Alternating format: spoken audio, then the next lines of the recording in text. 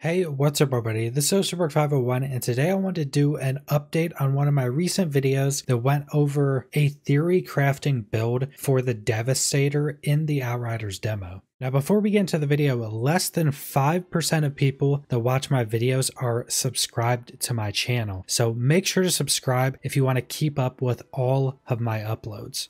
That first video was mostly focused on the armor mods and how those armor mods can buff and augment the main abilities for the build. And if you want to go into more specifics with that, I'd recommend watching the first video. We're going to go over a little bit of that in this video, but this video is going to mainly be focused on adding to that by going over the class skill system and going over what I think is going to be the best build for once a game is fully released to give you a very strong early build to help you farm up all the good items you're going to need to make more intricate builds. And this build is pretty much completely focused around the Reflect Bullets ability. And this ability is create a barrier that captures all enemies' projectiles and accumulates damage. After 10 seconds of triggering the ability, the accumulated damage is reflected back to enemies in front of you. The barrier also protects you from melee attacks by reflecting some of the damage back. Now, if you watch a first video with all the mods that are put into this build, this reflect bullet skill essentially turns into a activatable buff on yourself that puts a barrier up in front of you that constantly reflects all projectiles back to the enemies doing massive amounts of damage to pretty much all the enemies in your sight and even some enemies that aren't in your field of view.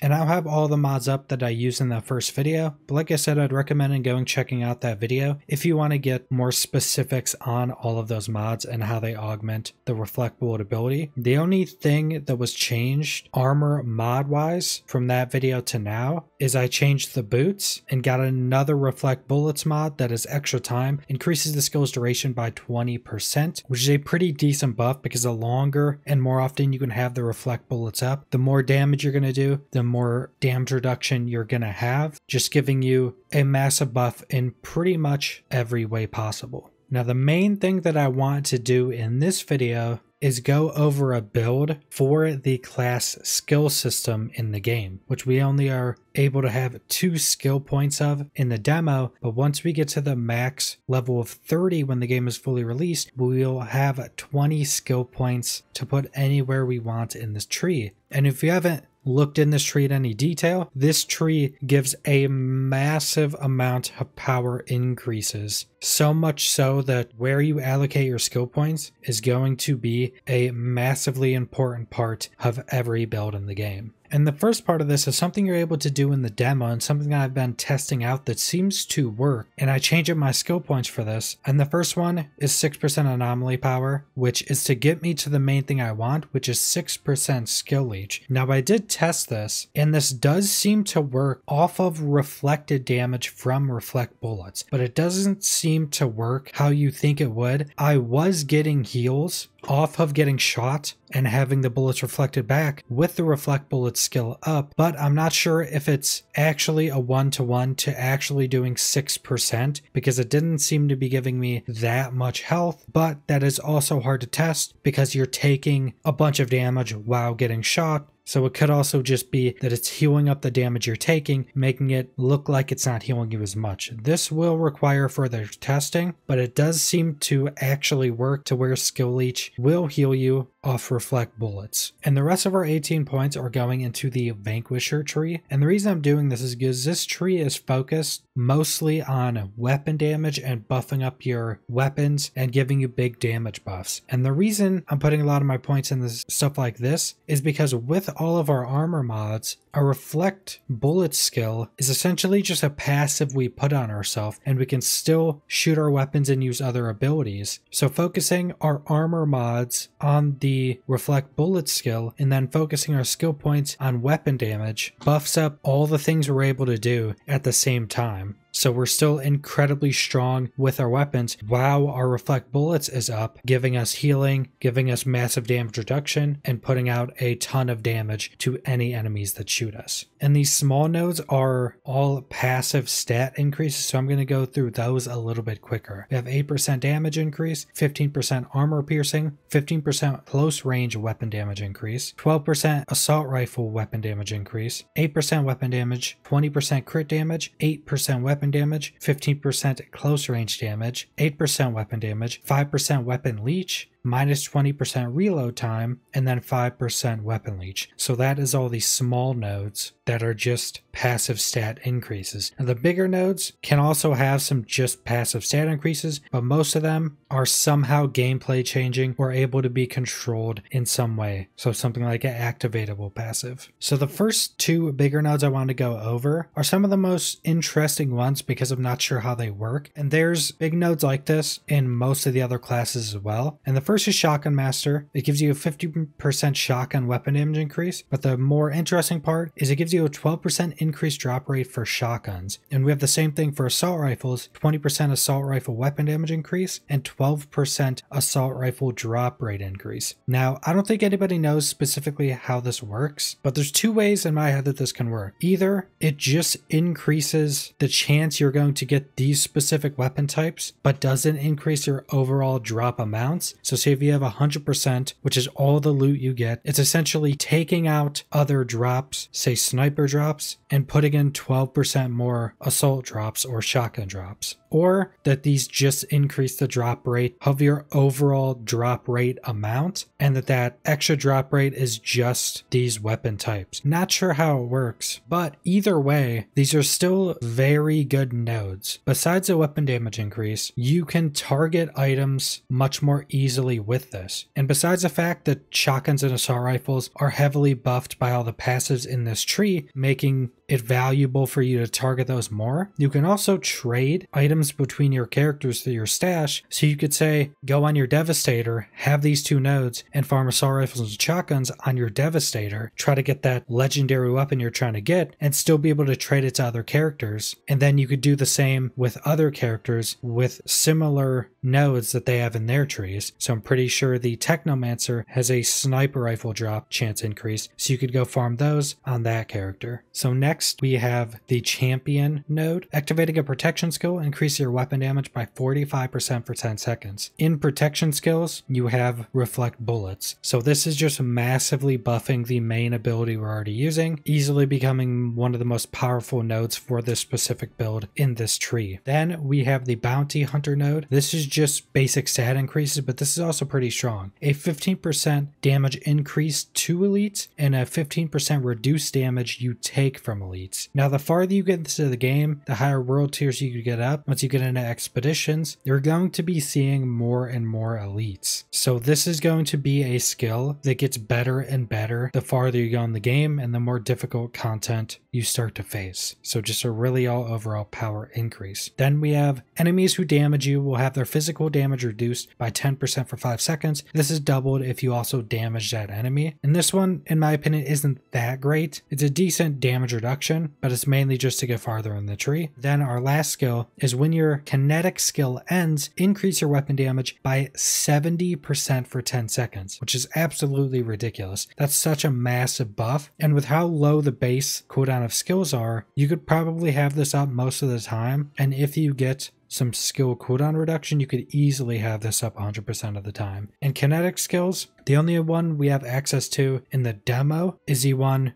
that I'm actually using, which I forget the name of, but you leap up in the sky, target an enemy, crash down, dealing damage. So that's one of them. And I know from the small amount of information we've gotten from some other abilities, there's also another ability in the kinetic skill that I'm probably going to be using in this build when the game is fully released, which is essentially like a totem you place that pulls in all enemies while it's active, grouping up enemies, making them much easier to kill. So this is also a massive buff and it synergizes well with what the build is already doing. And that's pretty much all I want to go over with the update of this build. I do think this is probably going to be the first class that I'll level up when the game is fully released, and I most likely will be following this skill tree and trying to keep my build as a full bullet reflect build with high weapon damage mixed into that. So subscribe if you want to see more Outriders or other videos. Leave a like if you liked the video. Leave a comment down below what you guys think about this build. And thanks for watching.